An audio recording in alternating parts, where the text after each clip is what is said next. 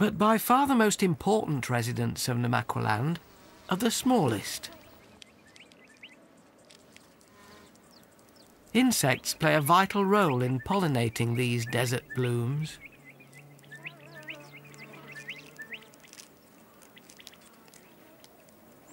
Over thousands of years, plants have evolved all sorts of ways to try and attract the interest of a passing pollinator, giving Namaqualand a floral variety unmatched anywhere else on Earth.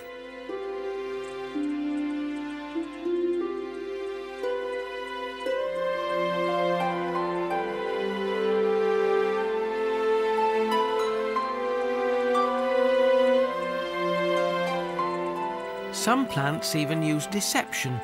The petals of this beetle daisy mimic the colours of a real beetle to try and entice pollinators hungry not for nectar, but for love.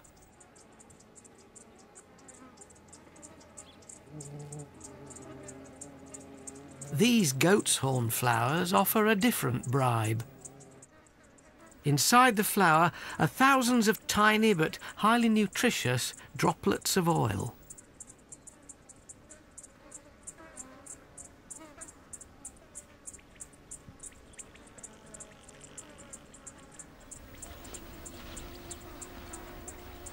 And to get at them, this bee has evolved extra long front legs, which can gather the oil from the flower's long horns while pollen rubs off on the bee's body.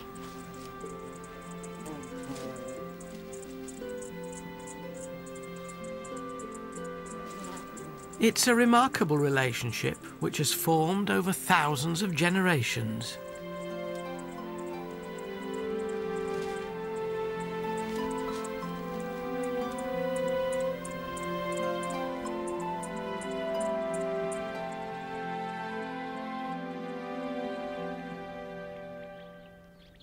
The long, slender flowers of these Lapeirousia have helpful arrows, directing hungry insects to a deep well of nectar within.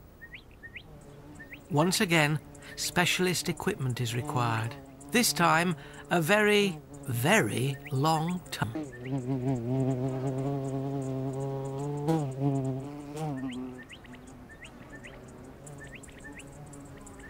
The flower reaps its reward when the fly collects a faceful of pollen and carries its genes to pollinate another flower. And with a pollinator as specialised as this one, the plant can be certain that its pollen will be carried to another flower of the same species.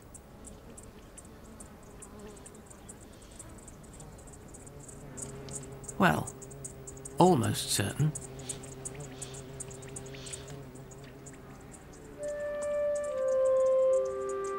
Succulent-leafed mesembryanthemums have no nectar to offer, and instead bribe monkey beetles with a meal of pollen rich in protein, though this male seems to be more interested in love than lunch.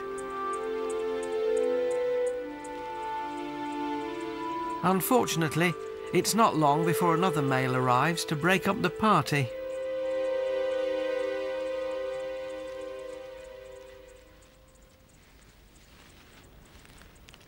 These fights over the ladies can be violent enough to break a rival's legs.